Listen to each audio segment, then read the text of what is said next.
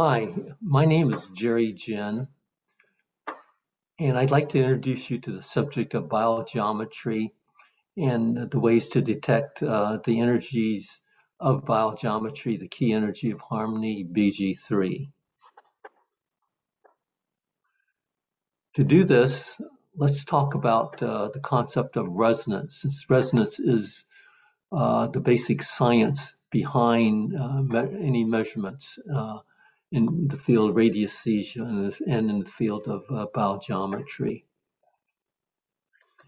Resonance is pretty easy to de uh, define. Uh, if you have a tuning fork and you strike it, it will vibrate. And all tuning forks in octave, octaves above and octaves below the tuning fork that you have will also vibrate. If you have a monochord instrument, a string instrument, and you pluck the string, then all strings that are octaves above or octaves below that uh, note that you plucked will also vibrate. That is resonance.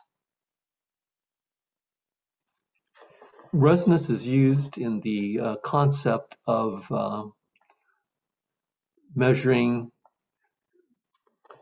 uh, the octaves, but it's used in, in terms of uh, measuring uh, the subtle energies uh, with pendulums. A pendulum is no different than a monochord instrument in the sense that the monochord is based upon the string length, uh, which gives the note that you create. With a pendulum, it's the same concept.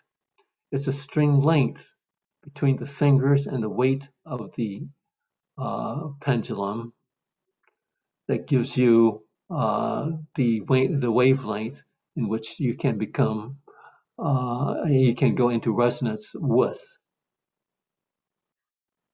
and you can therefore detect uh, the vibrations of uh, of an energy. Let's take an example of the color red. And here using what's called a neutral pendulum. And um, the color red is there and the pendulum is there. And so you're going to find the string length that resonates with the color red. So you're going to slip your fingers up the string. So the string is between your index finger and thumb. And you're going to move the string up and you're going to start a to and fro motion. And at the string length at, in which uh, is in resonance with the color red, in your mind you determine that you want to be in uh, resonance with the color red. When that string length has been reached, the pendulum will rotate clockwise. Then you are in resonance, or your pendulum and you are in resonance with the color red. You typically use what's called neutral pendulums um, to do uh, biogeometry, that is to find resonance of, of objects. Uh, and there's an area called personal wavelength. I have a YouTube on that when you find the personal wavelength of yourself, which is very useful. But a neutral pendulum will not be resonating with, uh, if you have a colored pendulum, it, it, may resonate with that color. If you have a crystalline pendulum, it'll resonate with uh, vibrational energies of that uh, type of, of crystal. So you choose a neutral pendulum. It could be a acrylic ball, it could be a ball made of uh, dough. Uh, and here I made a Play-Doh with uh, flour and salt, and I describe that in my book, uh, The Seeker and the Teacher of Light, how to make one of these things. Or you can use a wooden pendulum. It's not quite as neutral, but it will work for the exercises that we're talking about. Biogeometry, what is it? It's the science of establishing harmony between biological fields and their environment through the use of design, language of color, form, motion, and sound. And that's the definition that Ibrahim, Dr. Ibrahim Karim uses. And it's a good definition. So you're looking for harmony in an environment. And the reason for showing this particular slide is that uh, The energy BG3 has three components, and uh, there will be uses of colors uh, to show uh, uh, the resonance, uh, the colors that are associated, or the energies, subtle energies that are associated with the energies of BG3. So if you have a sphere and you're outdoors, where the sphere, sun shines on the sphere, you can find resonance with the color green. Um, and on the other side of the sphere, you'll find something called negative green. On the two other sides, uh, you find red and violet as shown on the uh, uh, diagram here, picture here. If you draw a circle in or and on the northerly direction of the circle, you'll find green. On the west direction, you'll find red.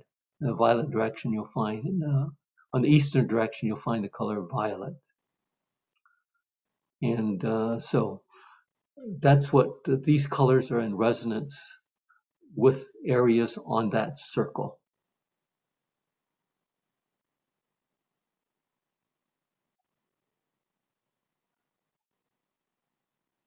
So in terms of the concept of biogeometry, there's something called BG3, and uh, that's the energy that you detect whenever there is harmony present. It's a subtle energy, it's a quality that's associated with the with uh, harmony. And uh, within that uh, BG3, whenever there's harmony, you'll also find the presence of three other color quality uh, harmonies. It's not the colors themselves, but it's a harmonic of those uh, colors. You'll find uh, anytime there's harmony, uh, with regard to biogeometry or whenever there's what, what's called BG3 is present, you'll find these three energies, horizontal negative green, higher harmonic of ultraviolet, and a higher harmonic of gold which can be related to a color, but it is of gold. When these three are present, uh, and your uh, your pendulum is uh, in resonance with uh, BG3, these these three qualities are there.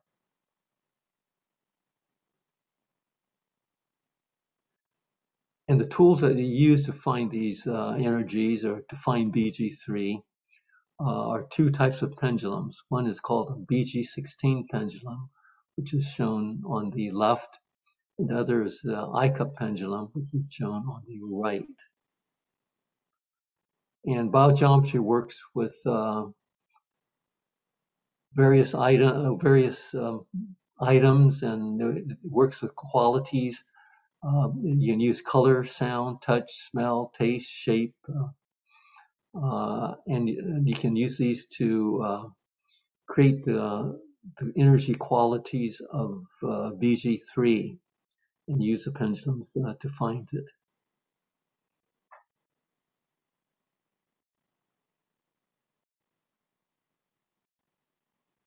Whenever BG3 is present, these pendulums, a BG16 or IKUP pendulum, will rotate in a clockwise manner. Typically, you just get the pendulum moving in a to and fro manner. And as soon as uh, there's BG3 present, or if you're searching for BG3, um, and if that energy is present, the pendulum will rotate clockwise. And the BG3 can be quantitated. Uh, there's a BG3 ruler Uh, and I won't go into the details of, of it, uh, but uh, other than to say that uh, certain angles will inhibit uh, the uh, BG3 energy uh, or that quality. And if you pile up these angles, it'll inhibit it, and so you can find the degree of strength of that BG3 energy. And you can learn all about this uh, in the biogeometry courses, uh, uh, which if you look up biogeometry on the web, uh, you'll find uh, the key uh, website for biogeometry, and that will give you where the courses are given with regard to, to biogeometry. It is about environmental harmonizing. And uh, if you can bring in BG3 into environment, that is a good thing uh, because it can help uh, solve certain problems. Example, uh, Ibrahim Karim is the uh, founder of biogeometry, and he was commissioned to solve the problem of EMF hypersensitivities in a couple of um, uh, cities in Switzerland, Hemberg and in Hirschberg. And he found that using BG3 tools that he created, he could harmonize uh, the energies coming out of the, the EMF energies uh, that were being emitted uh, from cell towers in those two cities. And by doing so, uh, he eliminated uh, the hypersensitivities in those cities. Used another tool called biosignatures, uh, and uh, there's a study in Egypt with regard to hepatitis, comparing all the various drugs, and uh, Ibrahim Karim uh, got involved in that study and used biosignatures, which is a biogeometry tool.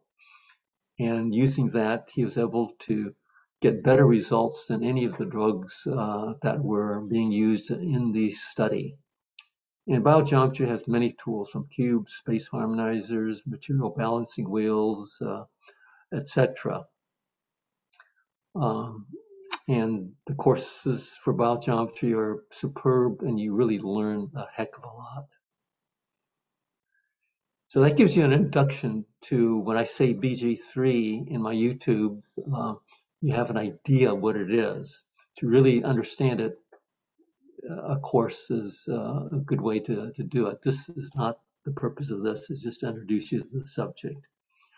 Uh, this slide just gives you a list of YouTubes that I have created uh, so that uh, you can learn about subtle energies, you can learn about your ion vibrational level.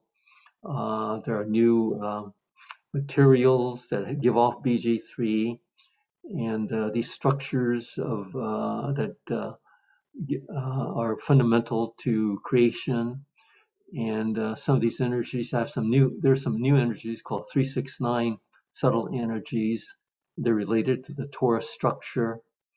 Uh, and all of this can be found in this series of YouTubes uh, that I've listed here. So you'll learn more in more, much more detail about resonance uh, and how you resonance, um, how you do dowsing, how you get to feel the flow of energies uh, within your body and the energies that are used in dowsing, how to make sure your dowsing and your radiesthesia is accurate, uh, how you use uh, personal wavelength uh, to know what foods are good for you, um, how to measure vibrational energy, how to, how to detect the 369 energies, which is very important energy also to detect uh, what are the uh, materials called GANs, Ormus, Nano, and their fields, and why am I bringing it into this discussion, and then biogeometry. And with that, I'll stop the recording and thank you for your attention in this matter.